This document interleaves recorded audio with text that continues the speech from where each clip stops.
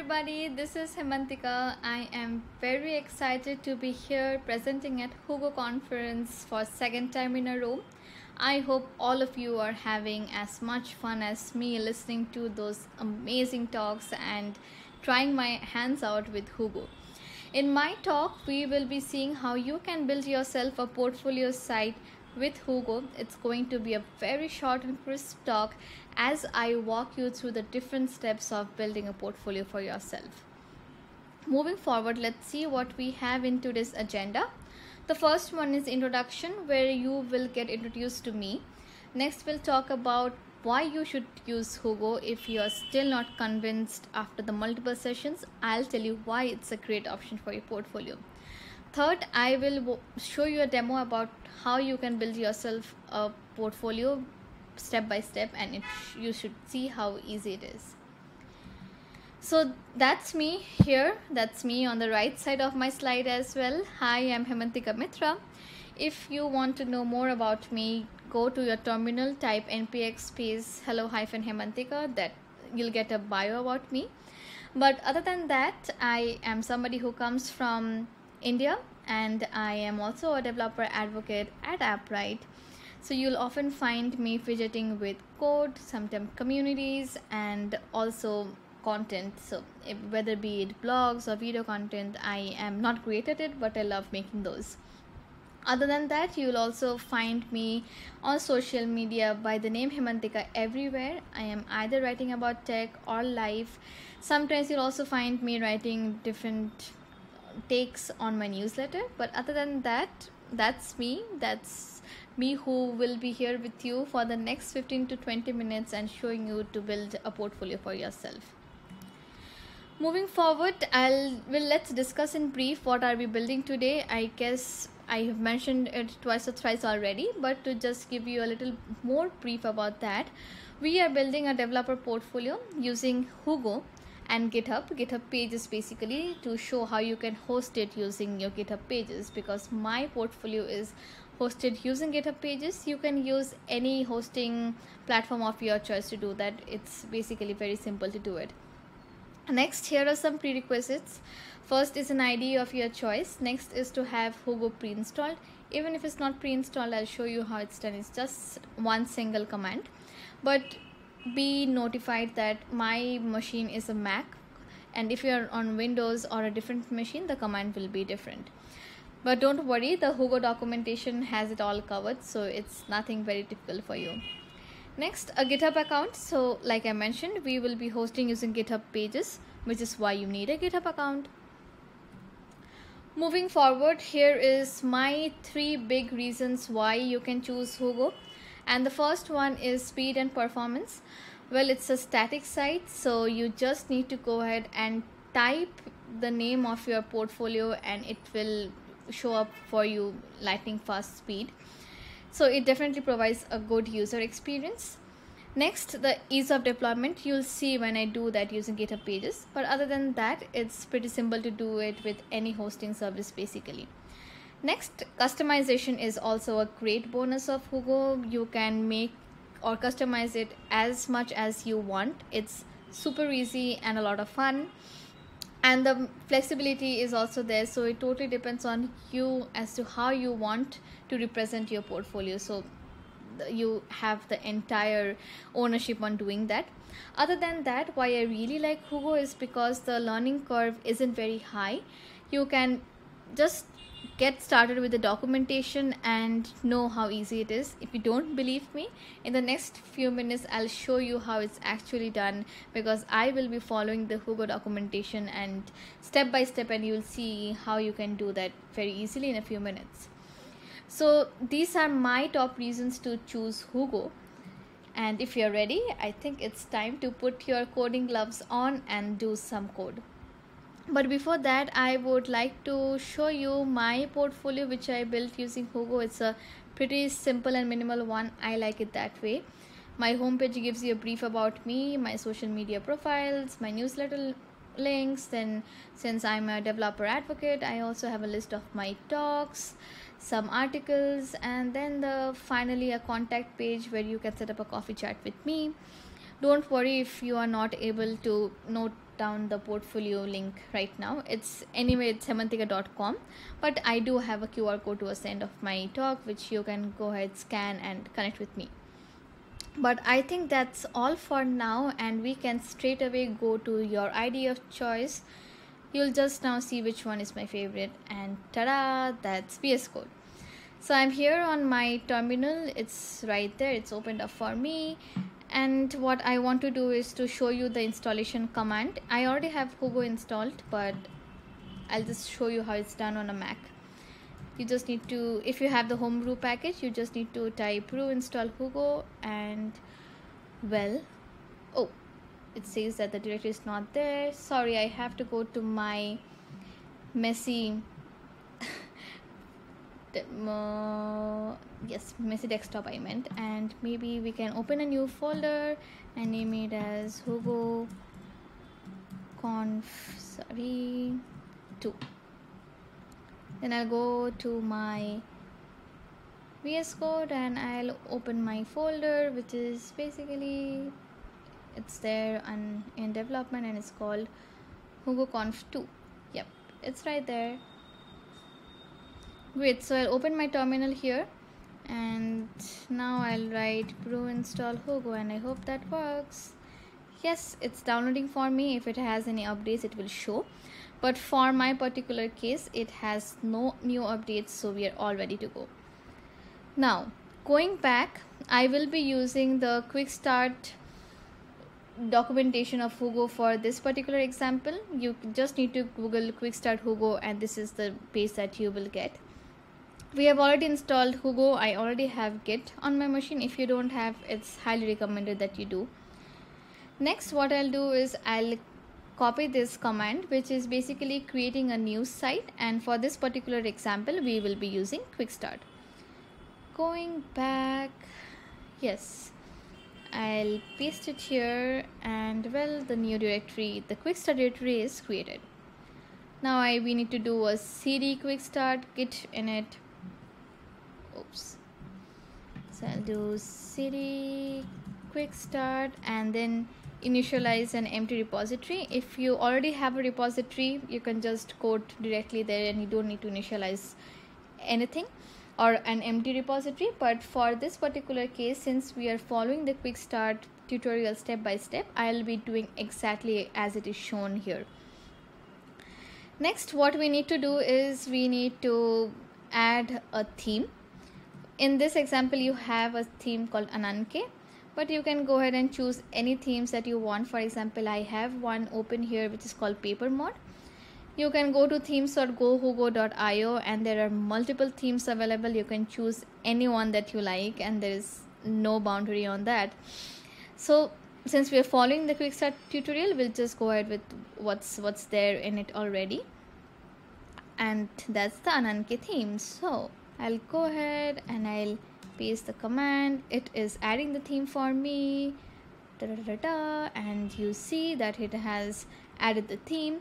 The next step that we need to do is in this TOML file we need to add another line. Basically we need to tell Hugo that the theme that you have now is Ananke. You can either do that manually or you can choose the echo command. And you can do that as well. So we do this paste and you have it.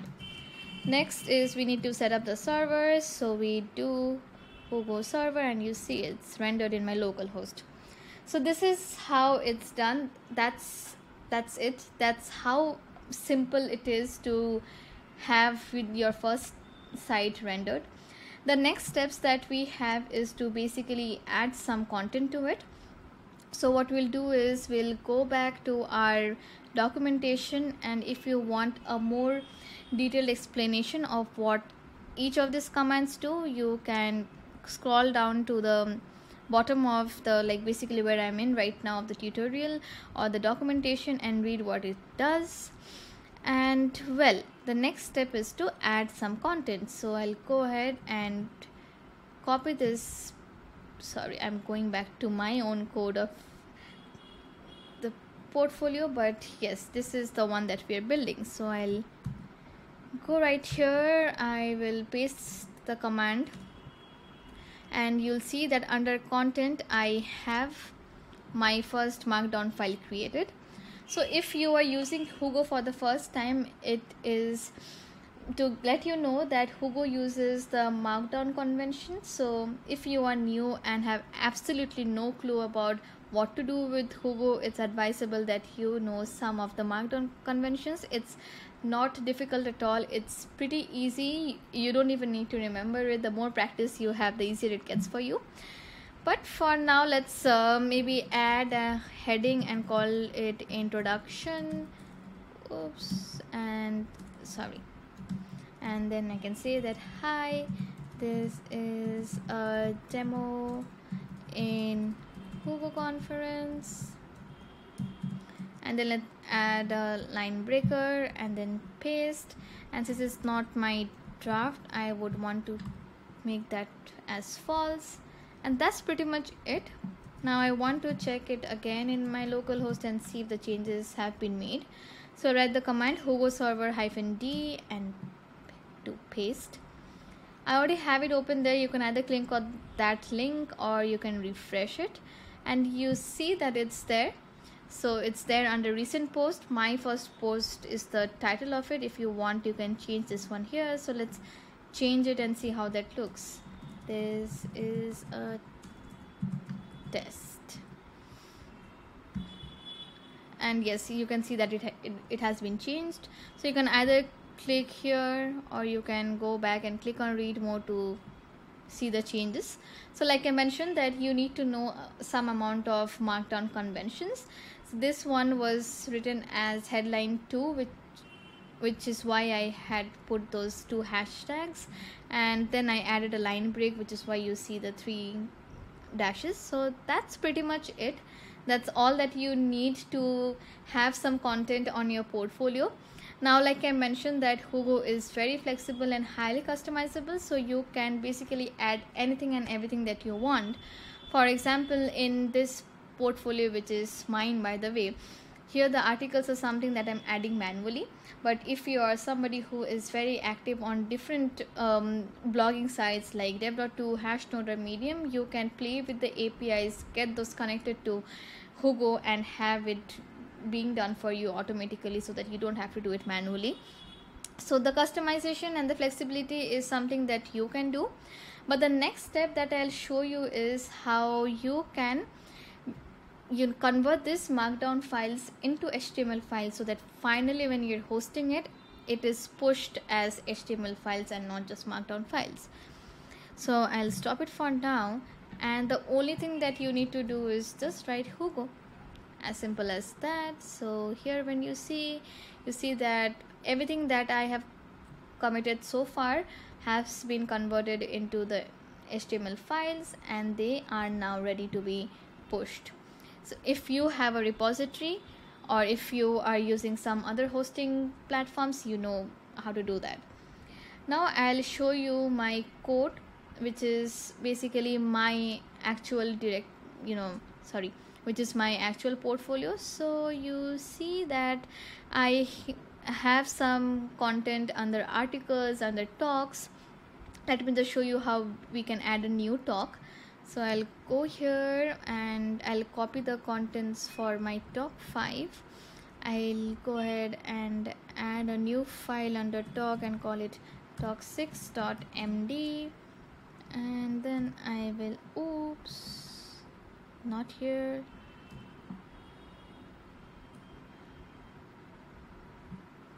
Too bad that I need to. I don't know if there there is a short shortcut way to delete all of this but I think I'll just be pressing the delete key until it's all deleted. Thanks for having patience with me.